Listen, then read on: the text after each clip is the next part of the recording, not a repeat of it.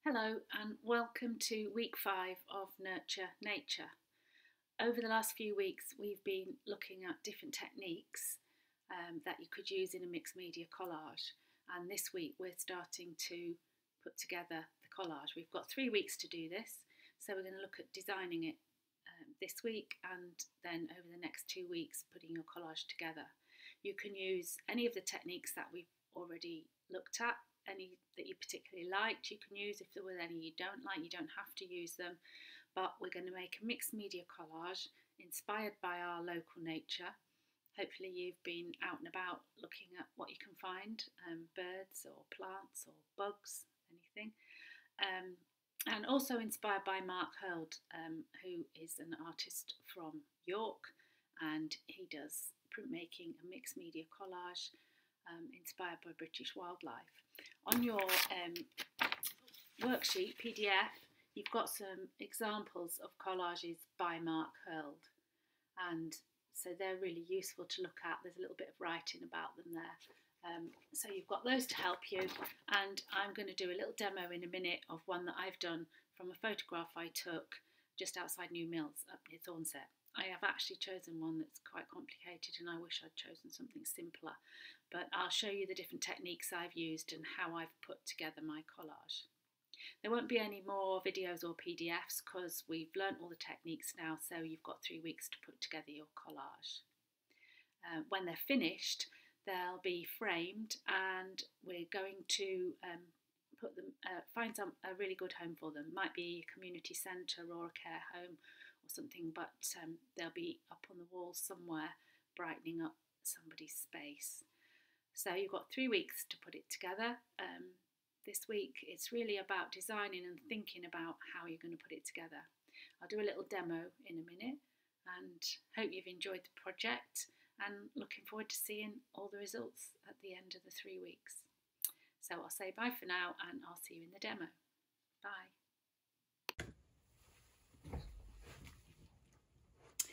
Hello, um, this is the photograph that I've uh, used as inspiration for my collage.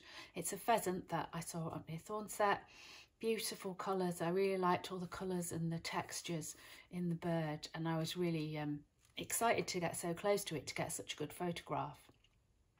Um, it has turned out to be quite complicated though, but um, this is what I've done.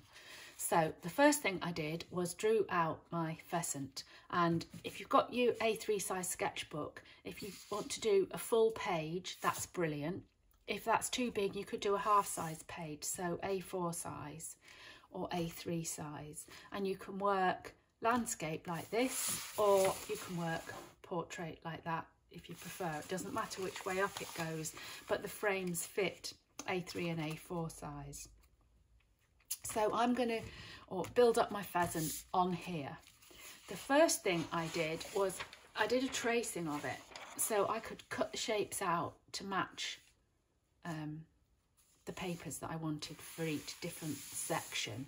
So I've done a tracing. You should have some of this newsprint or some tracing paper in your kit.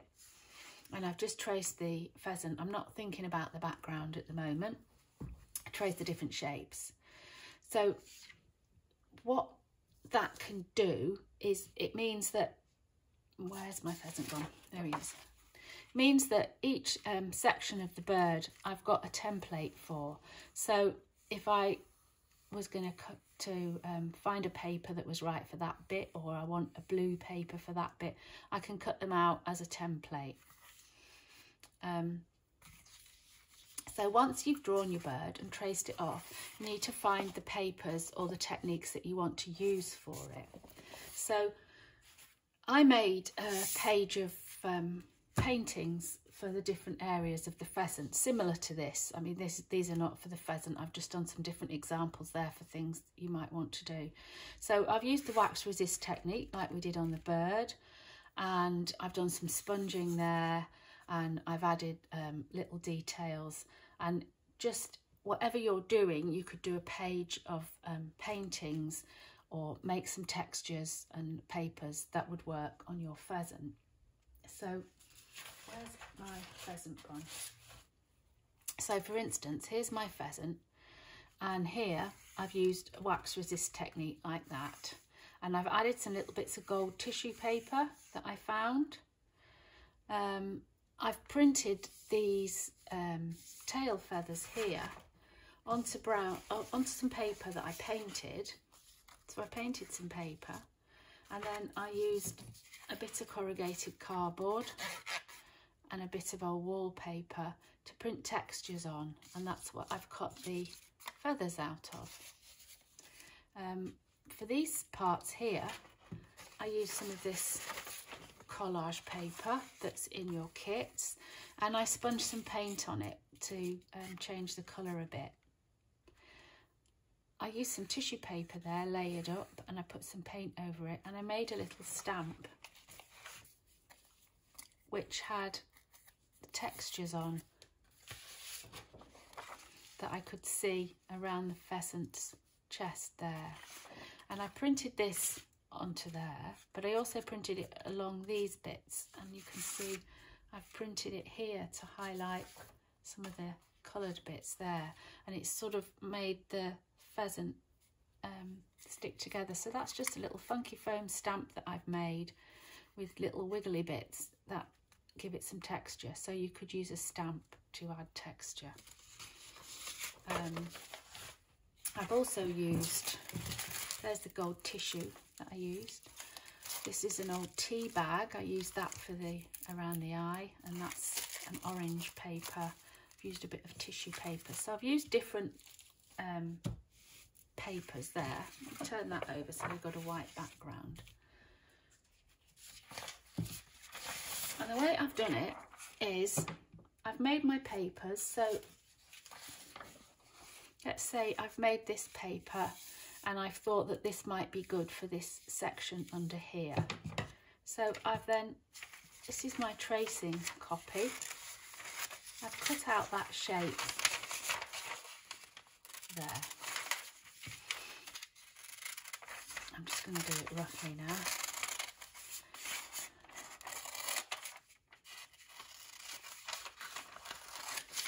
And then I can use that shape as a template to cut out the piece I need. So you can draw around it or you could just hold it and cut it. So I've made my papers or chosen my papers. You don't have to make your papers. You could use pages from a magazine. You can use all your ready-made collage papers. You could just paint paint sections. So I'm going to take him out the way a minute and bring back the original drawing. So that would now stick onto there. If I wanted to do that next bit, I'm going to cut out this next section here. Just to keep all the bits till you've got the whole pheasant.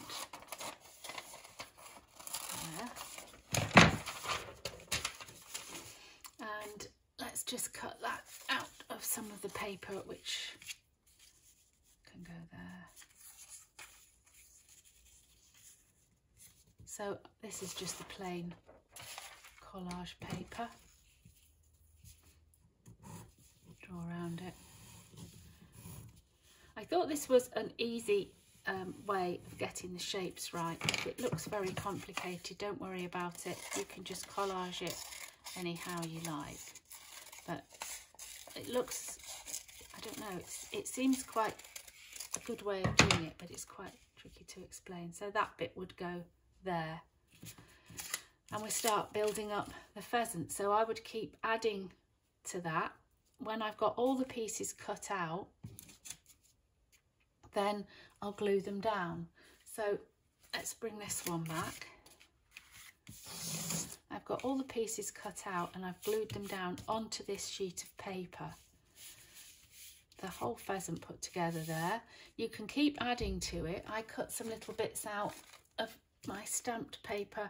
I thought I might add some little extra bits on there at some point. So you can keep adding bits to it. And when you've got the whole pheasant done, then you just need to cut it out around the edges. and then you can put your pheasant onto your background. So I've made a background with a stone wall and some leaves behind it. And to do this, I used some pages from a magazine just with um, text on them. So just the writing bit like that. And I sponged some paint on it to give it this sort of look of the stone. I used the little dishwashing sponges. I also scrumpled up a tissue like this, dipped that in the acrylic paint and dab that on. And then I've cut the pages out and made the stone wall. The background here I've made with stencils like we did last week or the week before. These are two leaf stencils and I've just sponged the paint in and as soon as they're dry I've just put another one on next to it and built up that background. So the pheasant could sit on that brick there and that should look something like my photograph that I started with ages ago and now I can't find. Anyway, you saw it earlier. I'm not very organised today, am I? So there's the photograph. So there's the pheasant on the stone wall with the trees behind. So I've used stencils, sponging, different papers.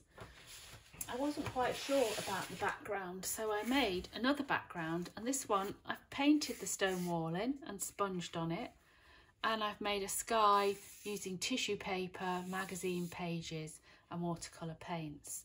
So I could put him on there as a different background, I'm not quite sure. But it's just using all the different techniques that you've used over the last few weeks, building them up to make a collage. It doesn't have to be a, a, a pheasant and it doesn't have to be as complicated. There's some nice examples here on your worksheet. This little sparrow is lovely. Um, this one's got a dark background. So have a look at Mark Hearld's work, see what you can see out of your window and anything, plants, birds, fish, insects, whatever you can see, have a go at making a mixed media collage. I hope that made sense.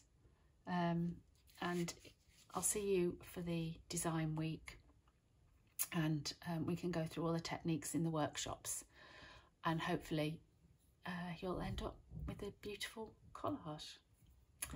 That's it for now then and look forward to seeing you in the next workshop but there'll be no more videos. Bye.